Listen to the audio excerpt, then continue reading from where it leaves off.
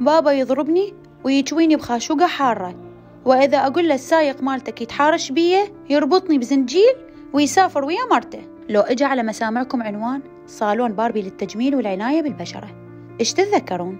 هذا كان كلام ابنة الراحلة الدكتورة رفيف الياسري. بعد ما طلعت بفيديو بطعم الدموع وتثير كل العواطف. زين وإذا عصافير شعر بنات قالت لكم الفيلم مو هيك؟